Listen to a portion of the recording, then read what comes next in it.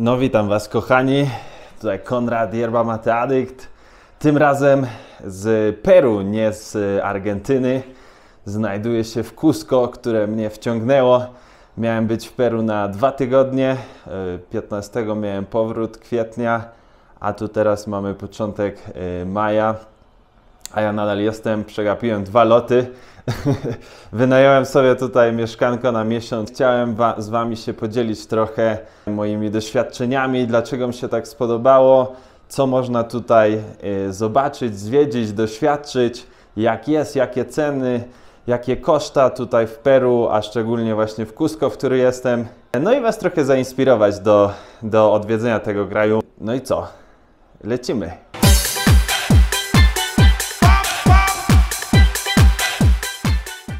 To co, zacznijmy od gwiazdy tego show, czyli mojego tarasu i widoku na całe Cusco.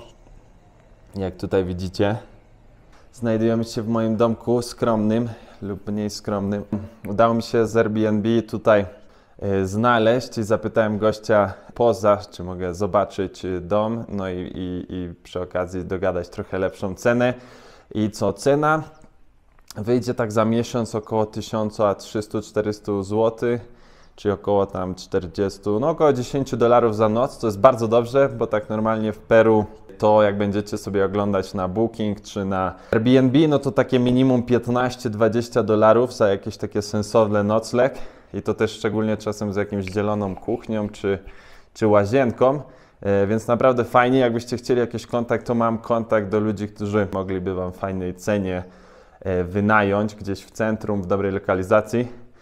No a tak co co, jeśli chodzi o to, tutaj mam taki living room, tutaj moje stanowisko pracy, plus y, kuchnia otwarta. Mam nawet dwa, dwie sypialnie, także, yy, także co? O, tutaj jest druga sypialnia z dużym łóżkiem. Najważniejsze to taras i to i lokalizacja, bo jestem tutaj w dzielnicy San Blas, która jest najstarszą dzielnicą Cusco, więc jeszcze trochę Wam to pokażę i powiem. Ale mam bardzo blisko do barów, restauracji z 3 minuty a w drugą stronę, jeśli iść, też mam do różnych rynków lokalnych. Z dwóch światów mam najlepsze. I co, jeśli Wam bym polecał, to właśnie według mnie Sun Blast najfajniejsze, no ewentualnie w centrum. Na, na tyle z domu, nie będę Was tutaj męczył. Spróbuję Wam dzisiaj właśnie pokazać, zabrać Was na trochę po rynku, po tych uliczkach, które mnie tutaj zauroczyły w Cusco, po jakiejś fajnej, pokazać Wam fajną kawiarnię, fajny widok, minimalnie powiedzieć o historii, E, no i też trochę dać wprowadzenie, co jest tu tak naprawdę do zobaczenia, do zrobienia, czy w samym Cusco, czy dookoła, jak tu się dostać, minimalnie praktyczne. No a co Wam nie powiem, to zawsze możecie do mnie e, napisać, na końcu powiem jaki kontakt. E, no i co? Ruszamy.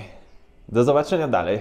Cała ta jakby strona na wzgórzach to jest dzielnica San Blas, która jest najstarszą dzielnicą Cusco. E, a Cusco było e, stolicą e, imperiów Inków. Teraz jest to po prostu duże miasto z dużą pozostałością ruin. Tak jak możecie zobaczyć też tutaj, ja jestem nawet w parku obok mojego domu, to jest zaraz.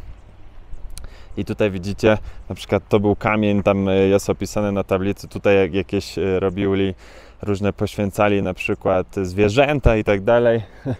Tutaj macie inną skałę, nie wiem do czego ona służyła, a tutaj jest strumyk. Także jedną z fajniejszych rzeczy właśnie w Cusco jest to, że, masz, że są takie fajne elementy zaraz blisko. Jest to fajna podróż w czasie, dużo pozostałości, większość budynków, tak jak nie wiem, czy jesteście w stanie to zobaczyć, ale większość tych, y, nawet tu, o widzicie, te mury wszystkie, to wszystko jest y, pozostałości jeszcze po ich jakby y, budowie. Wiadomo, to cała na przykład ta dzielnica, gdzie ja tu mieszkam, to jest część San Blas, ale ta część to mi powiedzieli, że dopiero gdzieś 30 lat temu powstała. Wcześniej to był po prostu jeden wielki las. Skończył się okres deszczowy i zaczyna się pora sucha, która jest trochę chłodniejsza, ale jest duży plus taki, że, że praktycznie nie ma deszczu. Więc jeśli byście chcieli przyjeżdżać, to tak naprawdę teraz jest najlepszy od maja do około września, października jest najlepszy okres, jeśli chodzi o, o generalnie eksplorację, chodzenie po górach, nawet po mieście, tak?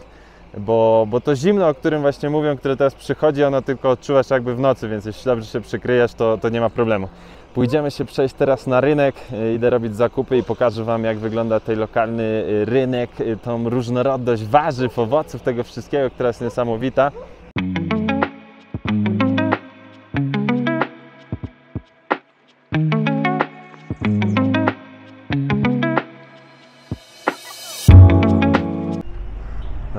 Pokażę Wam teraz trochę mniej turystyczną część Cusco, która jest tak naprawdę bardzo blisko yy, centrum i tego rejonu, w którym mieszkam, ale tutaj nie dociera wiele turystów. A plus zarąbistego miejsca jest, że tutaj są właśnie lokalne knajpy, których można zjeść za trzy razy taniej niż w innych miejscach.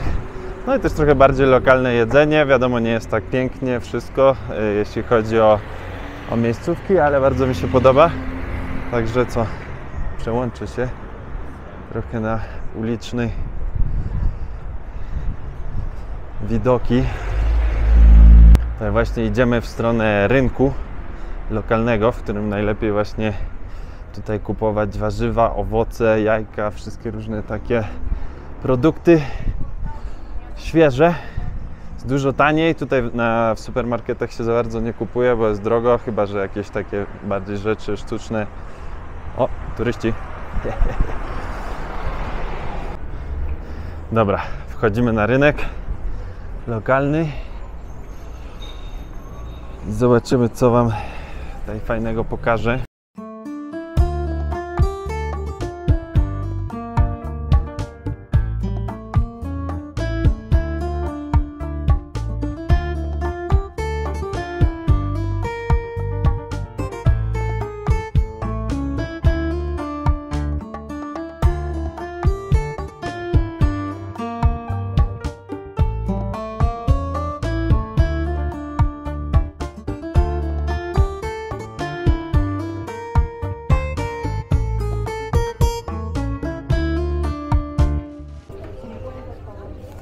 Widzicie warzywka. Tutaj kukurydza czarna, z której się robi taki napój, chicha morada. Tutaj jest ziemniak kamote, jest to słodki ziemniak. No i co tu inne warzywka, tak jak u nas trochę. Więcej różnorodności to jest w owocach. A tutaj kasera. Kasera? Hola, es 20, 50. Gracias. Kasera y, to się mówi na kogoś, kto kogoś wraca, do tej osoby, co sprzedaje właśnie w tych warzywniakach i tak dalej. I, i właśnie się mówi tam hola casera, hola casero, na takie właśnie osoby, co wracają.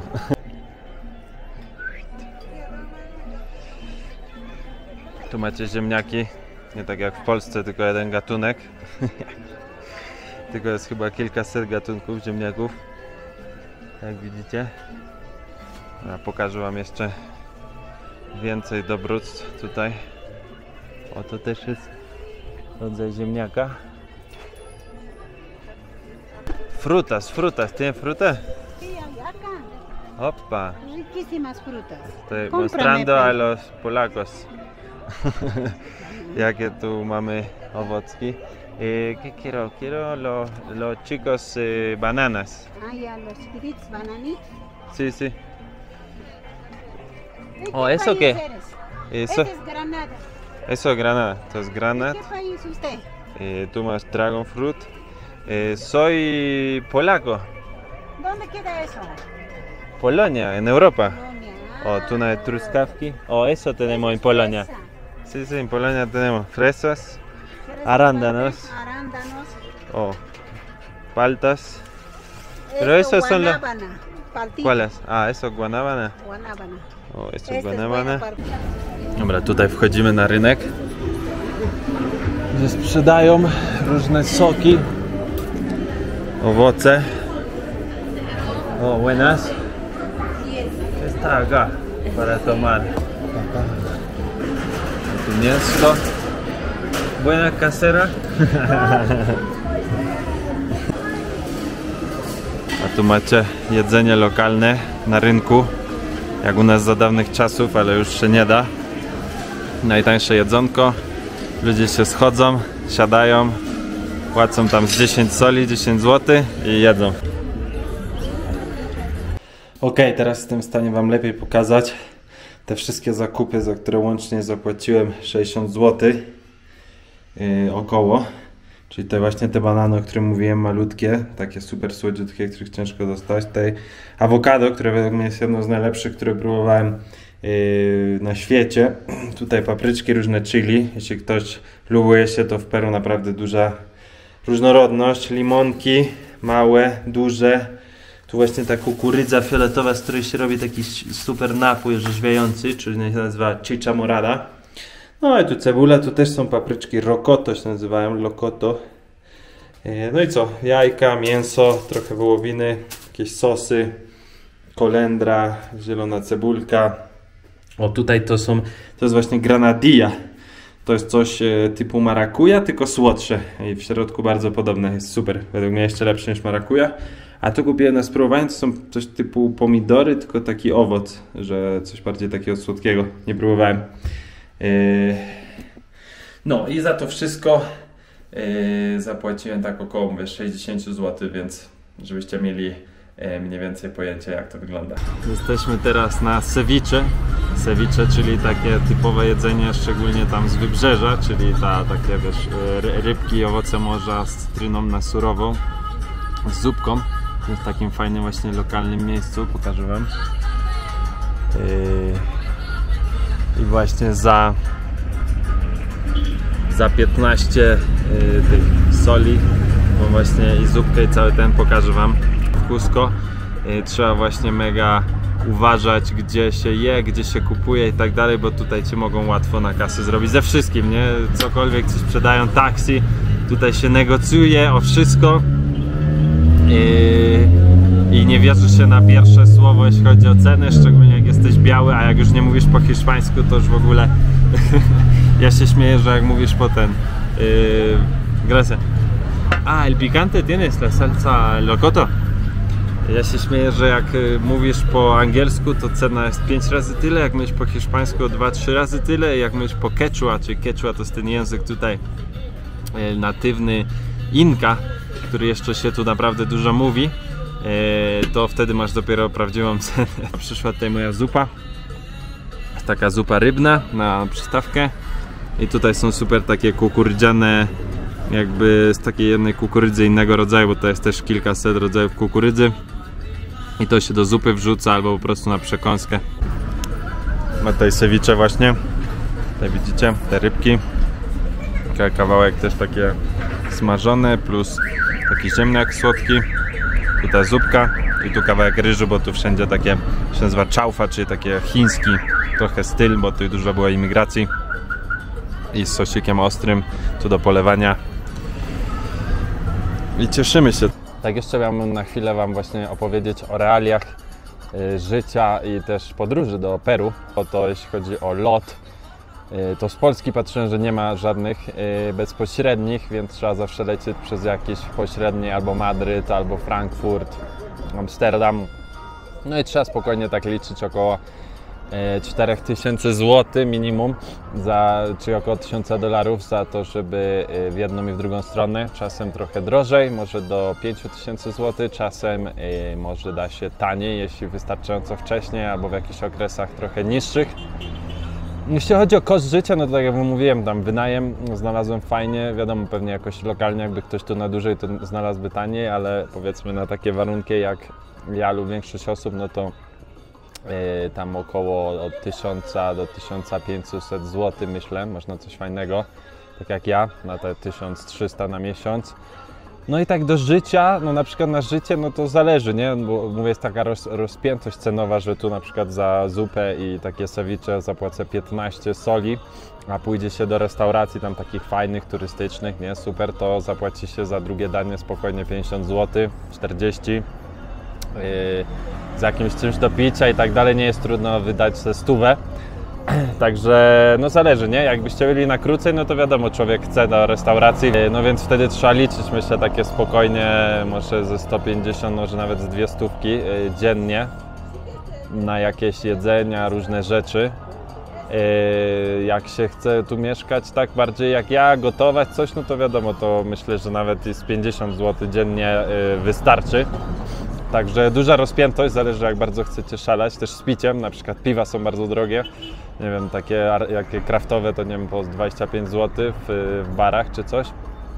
Ale na przykład drinki tam jest dużo happy hour, to można po 15-20 zł.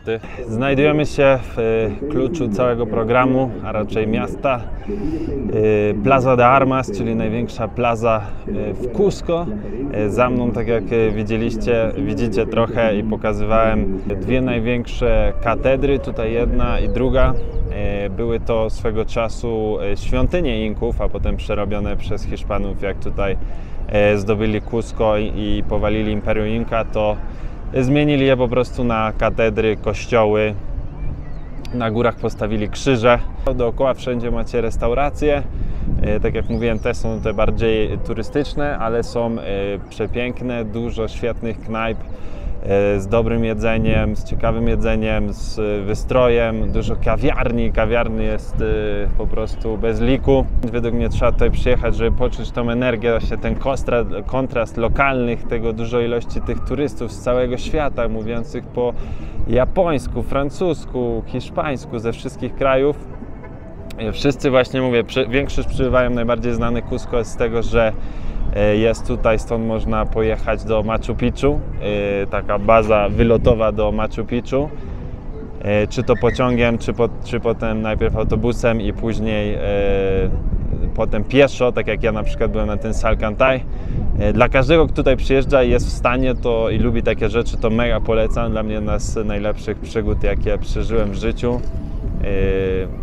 Widoki przepiękne. To Cusco generalnie nie dostaniecie się bezpośrednio z Polski, dolecicie do Limy, a z Limy y, są loty najlepiej, które po prostu kosztują y, mniej więcej od 10 do, nie wiem, nie no, 30 do 50 dolarów, czyli tam od 150 do 250 zł, zależy ile dni wcześniej kupicie.